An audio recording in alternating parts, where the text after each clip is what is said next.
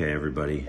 Hopefully this is coming out right. I'm gonna do a video that uh, this is gonna be in the beginning here. I'm just gonna go over this whole video. So ultimately what this is for is installing a dump valve on a Powerglide transmission and setting it up for a 4G63 rear-wheel drive compound turbo with a GT30 journal bearing and a GT45 like the eBay specials.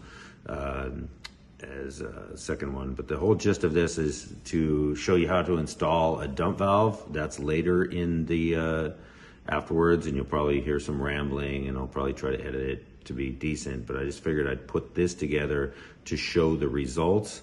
Because a lot of times what happens is I've seen guys will post, there's a couple of guys, only two that I've seen showing how to do, to put a dump valve setup together. There's a home, a do-it-yourself deal and uh, then they don't really show the results on it.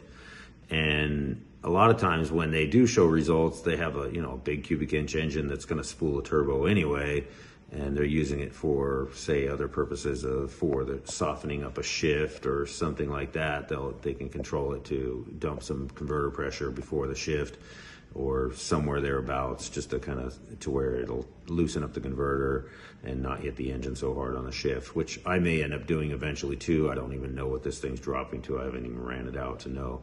But i'm gonna i'm gonna show you some logs right now. And what i'm going to point out on all these logs i have uh, let's see four of them here. And i found probably the best examples that i could find and to be honest with you, I think all of them that are pre dump valve are a, they kind of have a little bit of a better uh, situation for uh, getting the converter. Uh, it, it, was up to temperature already in those is what I mean. Whereas when I, this test that I did with the dump valve, the engine, you know, it was up to temp slightly. The transmission was pretty much dead cold on the first start. This is the second test. So it's going to loosen up even further than this. So just to kind of get that out of the way, that it's going to be better than what I'm showing you here. But I got such good results out of this that I figured I would show it in comparison to my uh, the previous ones without nitrous, and then I did one with nitrous, and then I just did one with nitrous today. However, I don't really like that one too much because that bottle is almost empty. At very minimum, it wasn't purged, and you can see that it goes pretty rich in the uh, the log, but it still works really well. But the reality is, I just don't need nitrous now, so it's pretty awesome. But anyway, let me show you the logs real quick. First of all and then I'll get on to the videos, try to edit out. I know there's going to be a lot of rambling. I'm sorry. And I'm very sorry big time for having the phone turned the wrong direction. Hopefully I can fix that. But if not, unfortunately, you'll just have to bear with it. And I think this is a good video to show people how to do a do-it-yourself dump valve on a Powerglide transmission and what the results are. And this is going to be mostly for these guys that are running little four cylinders that that have a big a lot of problems. Uh, this converter is pretty tight. It only stalls up to about 26, 2700 before it really bogs it down. It takes forever to even get to 3000. So I want to want to kind of go over that in this in these videos in this uh, these logs and show you that. But uh, I've, I've been setting everything just to precursor everything. I've been setting it to basically atmosphere when it hits like 0.2. I'm just measuring from 0.2 to when it hits like 52, 5300 RPM. That way I have a pretty good gauge of what we're doing, nitrous, no nitrous, all that. But anyway, here's where we'll start.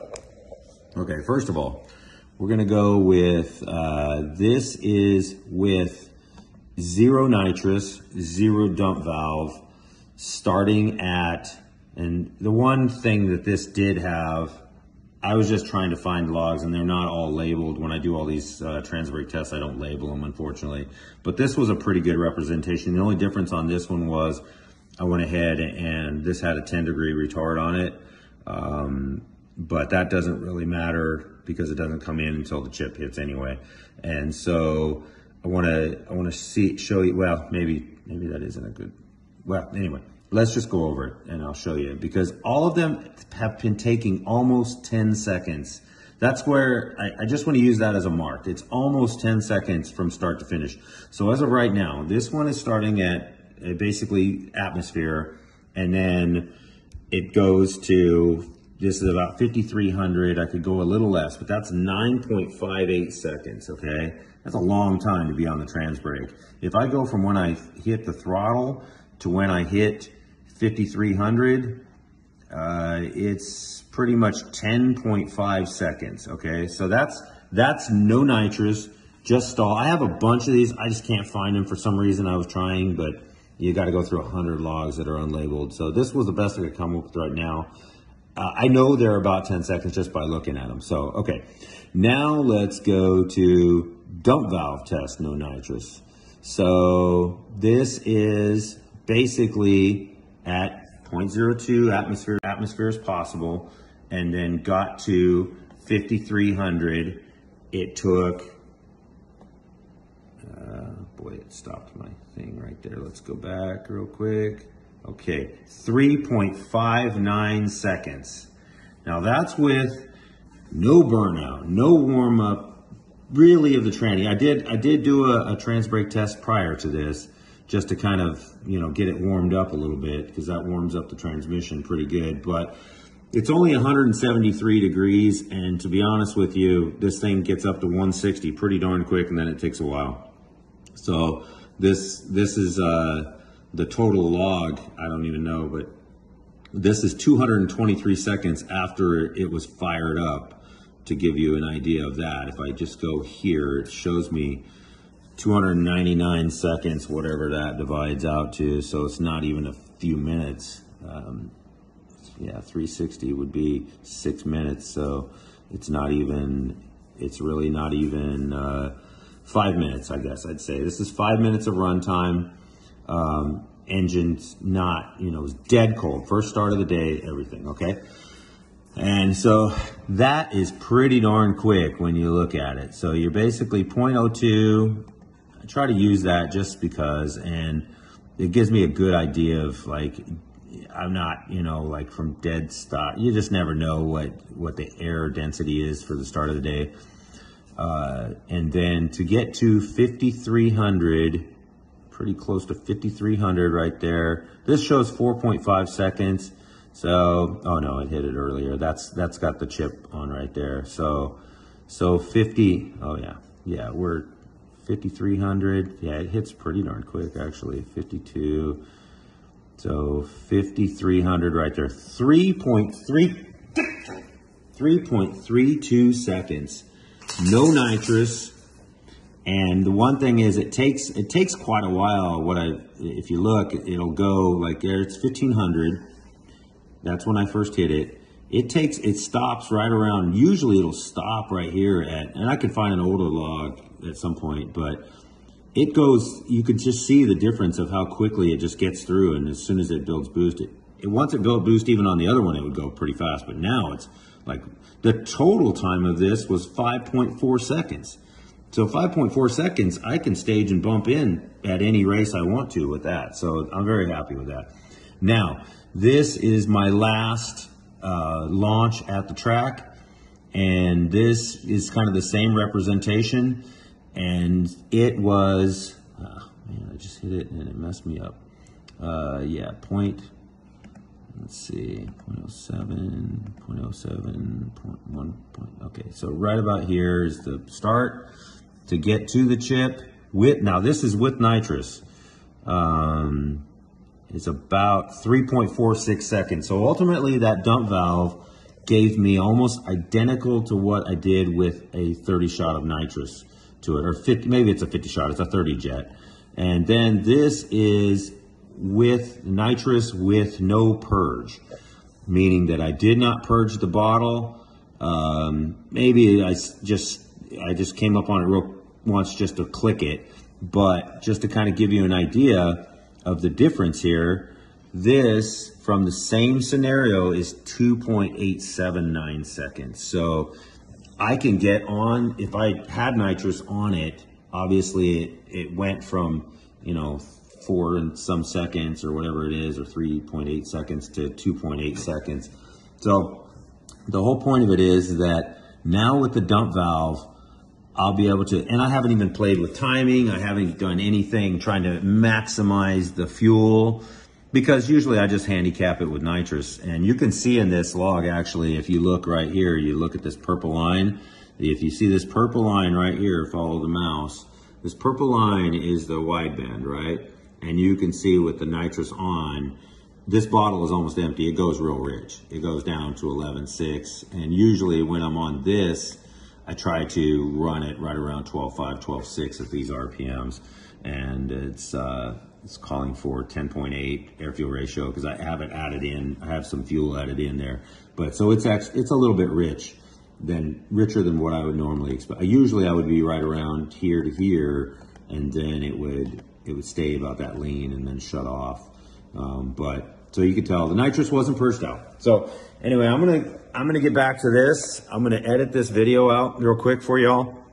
I do think this is to be very beneficial for a lot of the four cylinder guys that uh, that are probably going to struggle with uh, getting a converter to work uh, because I have. I've, you know, working with different converters, I've tried, and then, you know, you're spending a ton of money dealing with converters, and this is not that hard. All in, with the valve, the fittings, and everything, I I would bet that I have maybe a hundred bucks, maybe if that, with uh with the uh, the fittings, uh, and I show all the fittings that I use. I show how I route them. I show everything and and what I do to do it. So this, at least this will give you guys an idea of what the video is about, and then I'm gonna now we'll start the video. So pretty much what you do if you know how to work, you know, you shouldn't be doing this. If you can't pull a valve body off of a power glide. I'm doing it in the car. Transmission's already in and functioning.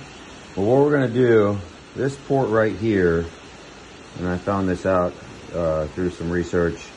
This port here is your converter charge pressure. If you look on your uh, valve body and through your transmission, this will go up in and get puts the fluid to your converter.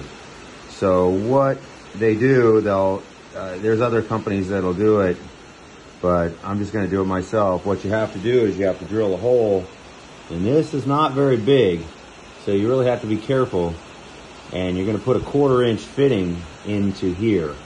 So I need to drill that hole exactly in the center. It's gotta go through this little guy and then into this port here. So it's gotta go all the way through there. And so you drill your hole in between these two and it has to be big enough, perfect for a quarter inch and drill and tap it for a quarter inch fitting, uh, which I have all the fittings laid out here for this whole process. I'll have to find where that quarter inch, I might have put it away. Actually, now that I think about it, I'll have to find it. Uh, pretty much I'm gonna do a, put a quarter inch fitting into there. i have to find that fitting. I guess I better find that before I do it, make sure I got everything. But uh, I'll start drilling that and I'll get back with you guys. All right, so I got the pilot drilled.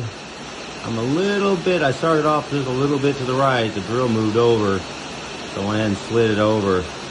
I'm gonna go ahead and take it real slowly, stepped up, and then I may try to just shift it with a bit before I start running the tap, because when you do it, there's not a lot of space for you to have a you have to be real careful with this because there's not a lot of material there. So when you're tapping, it's going to have to go real nice and easy. Fortunately, it's just cast iron, so it goes pretty easy. As you can hear outside, it's raining cats and dogs. I'm in my little engine area here, the transmission area too. And boy, we've needed this rain because it's real, real brown out there. But it'll green up next week, but you can hear it a lot. Uh, this shop doesn't have any insulation on the roof. I just started doing this insulation on the wall so I can put some sheeting up in here. Try to clean this area up. But uh, that's it for that one part. We'll go on to the next one. All right, one thing, one thing I want to note on this is when you're drilling all the way through this, you have to go through both of these, right? Well, when I look at it, these uh, dash six fittings, this quarter inch one in particular, really only has a 250 thousandths hole approximately, a little bit more.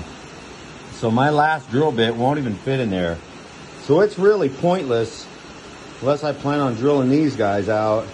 And then that's pointless because you're pretty much dealing with a quarter inch orifice on the dash eight or dash six. So, and ultimately the whole thing is dash six oriented. So you're really not benefiting anything by doing it unless you take, change everything over to either dash eight or some kind of 3 eighths uh, hard line or something like that. But for now, I'm going to give this a shot. This is what everybody seems to use in their kits. They'll use a dash six hose connecting it to going out to the solenoid. So this is what I'm going to use.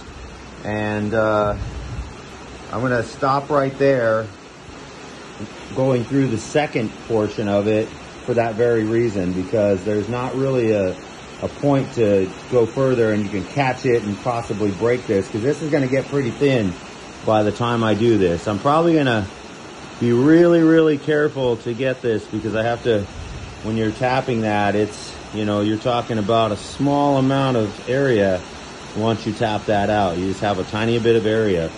So I'm probably going to maybe Dremel down a little bit and then get this drill to come down just a touch on this or try to get the other drill to start a little lower just so I don't get up into there. Probably should have started my drill a little bit lower, but you also have this part of the casting is also thin. So they're both, it's going to be very thin. I think, honestly, in hindsight, you probably could have done a, a dash eight fitting, which is, uh, or eighth inch pipe fitting, which is one of these, and ran some smaller ones and just tap that. I suppose I could still do that see how it works. But I have to figure out how to get that out. But I think I'm just going to stick to my original plan. I'm just going to be real careful and uh, tap this out to quarter inch. All right. Well, now it's really raining cats and dogs. And Gunny here says, I don't know. What do you think about that out there, Gunny? Huh? Too noisy out there for you, bud? I think it is. Well, so here's what we're going to do. Like I said, I'm not going to risk trying to run the big drill bit into the smaller port area there. So what I'm gonna do is I'm gonna take my long Dremel here and I'm gonna go in there and just clean that one up with the Dremel so I don't take a risk of chipping that off.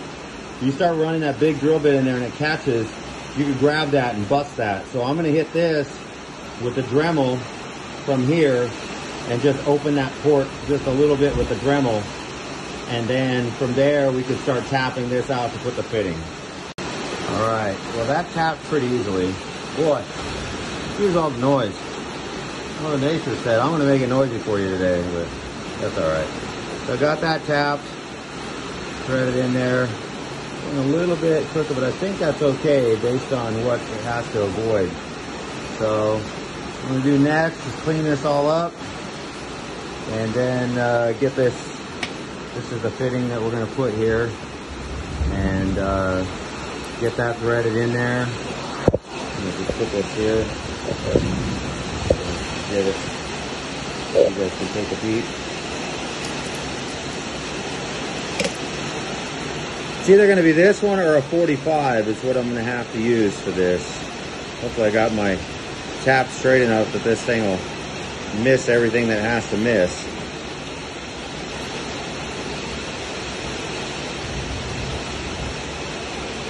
Now I'm going to have to work this tap a little deeper, it looks like. We're a little tight going in on that, but it's all right. As long as this thing is tight, if I can get a few threads on it, that's really all that matters. All right, got the valve body back on. Give you guys a little shot of what's going on here. Basically, valve body's back on. You'll want to make sure that you get your main selector in. You get your trans brake uh, valve in and then the rooster comb on with the spring and the servo tube on as well. Just, you know, if you've done this stuff before, you'll want to make sure that you get all those. I have forgotten this before and had to loosen up some stuff and, and get that back in place. It's very easy to forget it. But what I did is I put this, if you can see, I have it at about a 45 degree angle. I don't know if this is going to be upside down or not but I have it at about a 45 degree angle. So it angles down perfectly for an AN fitting, a straight fitting. I think this is the best way to go about it. because now I can basically take a an AN line and I can just loop it around here and it'll, I did not drill this yet. I should have done that, but I'll just make sure that I don't get anything up in there, but I have to drill a hole right here for the exit for this. Basically what's happening is it's dumping here before it goes to the converter. So it gives a little bit of fluid into the converter. It controls the amount of fluid to the converter. And you can use it for a variety of reasons. I'm personally using it to spool up because I have just a tiny little motor in this thing. So basically you run, the fluid goes, instead of going to the converter or a lot of it, goes from here out and then I'll have a valve right back here that will run and then the pan will have it. I'll show that once I get it done, but pretty much this is the main portion of it is to drill this and get this fitting in here and get it at the right angle that you can get the hose. The hose will pretty much fit, sit right along the bottom of the pan. And then I could just come up with a 90 right here and uh, the hose will just kind of hang and then go right there. I'll show you that when I get that done. All right, so I got the hole drilled through the case. This is the fitting that I'm going to use. It's a bulkhead fitting. And uh, the way I'm going to do it, I think, be the best way is to uh, put this down inside. It'll give me some distance. I'll have to look at it when I get there, but make sure that it'll clear the pan. But you pretty much just put these, uh, put a uh, Teflon washer on top, and then another, another Teflon, and you slide this in. This will go down through the case. Put another one, and then this nut, and then your fitting goes on it. So I'll show you when it's all put in. All right, so now I figured out the best way I'm gonna route this is I'm gonna do, remember I have this thing pointed down at 45 degrees from the valve body with that 90 uh, quarter to six. And oh, by the way, I forgot the guide plate. I had to put that on. Good idea there. Good thing I got that thing at a slightly angle because it actually cleared that thing. I could have notched this, I suppose, but it doesn't need it. Um, so I did a 90. It's going to clear the extension for, I have the deep pan on this, so it's gonna clear the extension. And I'm gonna go ahead and run a 45 here. And so I'm just gonna basically measure this. So the way I'm gonna do this is I already got this one put together and I'm gonna figure out exactly like how long I need this one to be, tape it right there, cut it, put it together, and then I'll use probably a new a 45, a new 45 for this. But, uh, and then that'll be connected right there. It should not, looking at it, actually, it probably, even if that thing's pushed up a little bit, it's not going to interfere with my dipstick. Um, if I'm over here, if I go onto this side of it, shouldn't interfere with the dipstick. And even if it does, basically it's just going to go to the side of it. So it's really not going to change things too much. But uh, anyway, so that's what I'm going to do. I'm basically going to mark this off, cut it, connect it to a 45 here, and that'll get me out of the transmission. I'm going to pull everything back apart um, torque down the valve body to final uh, and the uh, tighten up all the fittings and then put the pan back on and then we'll just be working on from the outside. So I actually, I probably won't put the pan on until last. I'll probably get the, uh, the valve on and everything to make sure I've got it all sorted before I do that. Worst case, I put a cap on here and a plug in there, but uh, if everything doesn't work, but I think I'll be all right. I've got two different valves to try on this that I've used on external dump valves. Problem with external dump valves is they really, on a power glide, they really don't make much difference. So, but they're good 12 millimeter valves, or I think one's a 15. Not that it matters because you're dealing with basically dash six hose, which has quarter inch openings uh, on the on the fittings. So that's what we're doing. And I'll come back once I get this all done and then we'll uh, move to the valve and the outside. One quick note while I'm doing this. Uh, easiest way I've found to put these lines together is you use these big bolt cutters. I just drop them because I try to get this thing pretty quick. So what you do is you use these bolt, you tape it up and you use these bolt cutters.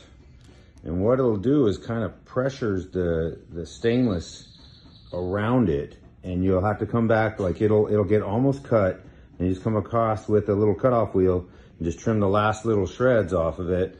Like right now, if I was gonna use this one, I would just trim off those last little shreds and you can fit that up in there, pull the tape off as soon as you get halfway up in there, thread it on and you're good to go. It takes, you know, a lot faster and you're not poking yourself so much. So that's one thing I found is to use these cutters.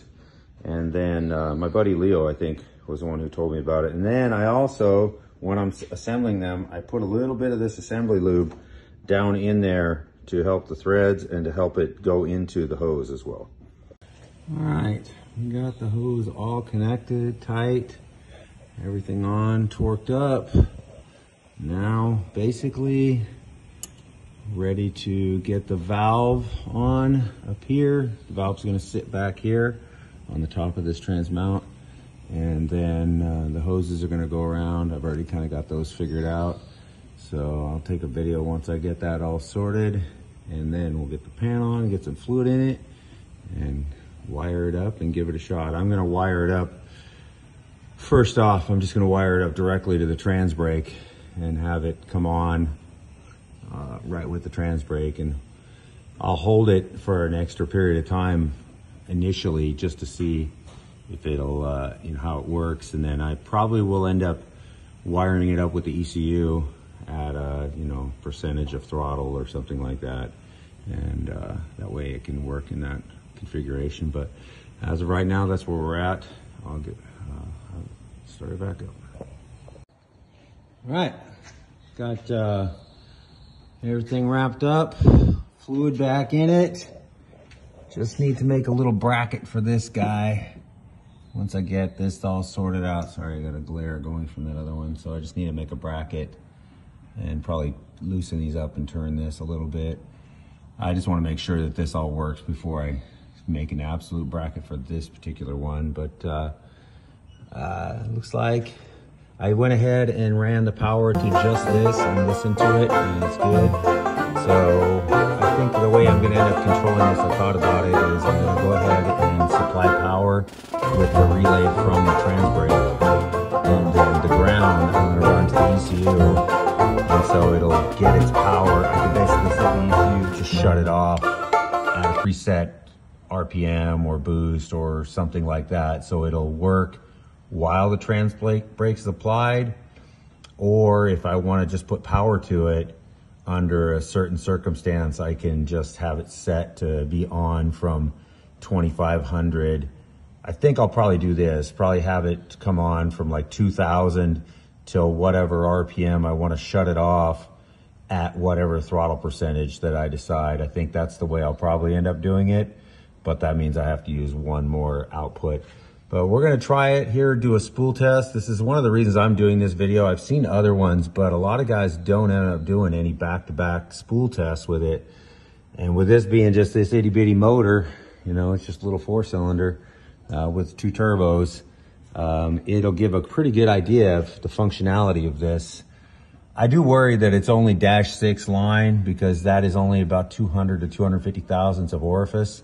So I think there may be a, a situation where you run two uh, of those into that port and come out to two valves to where you really can dump it. But uh, guys say they work. I, so I'm going to find out here shortly.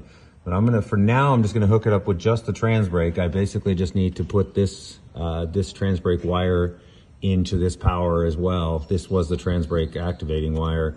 I'll just run them both into this terminal for now and we'll be checking it. And I'll probably do a back-to-back that shows it with it.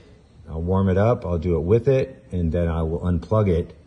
And so then I'll do it without it, which ultimately is in favor of, you know, the, uh, the fluid will be hotter, so it spools up a little faster when the fluid is hotter. So I'll kind of do it in the reverse so that I'll have the dump valve on when the fluid is cooler, so we'll get the maximum effect of it and then from there we'll I'll try it without it and see what it takes. I know about what it takes. I've already done it enough times and there's other videos I can probably tie into with this. But that's what we're gonna do. The fluid's in it, gonna fire it up, warm it up, and then do a test.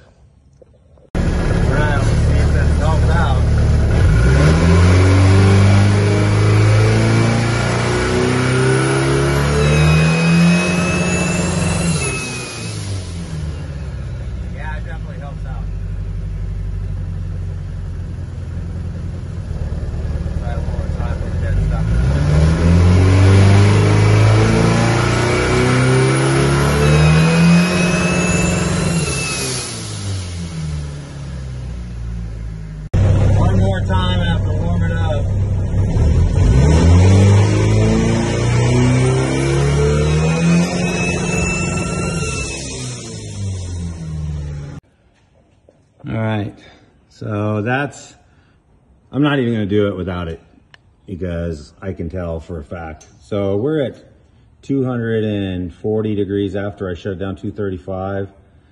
Uh, that's after four spool ups. So I think ultimately that it's going to even make it easier on the transmission. Um, let me turn this this way. All right, we're gonna do one last test. And uh, this is just to kind of get an absolute comparison. And it should be pretty darn quick. I'm going to do a test uh, with the uh, little 30 shot of nitrous that I have and with this dump valve and see what we get. So please excuse the phone. I'm probably not gonna be able to hold it because I gotta use both hands to do what I'm doing. But uh, let me fire it up and if I can set you guys somewhere, it'll stay. I doubt it. I'll try to put it right here or something.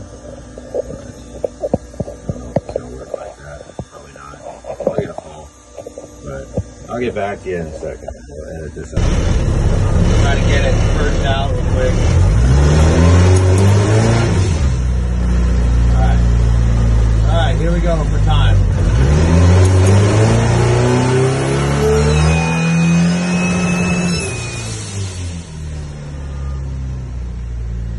One more real quick.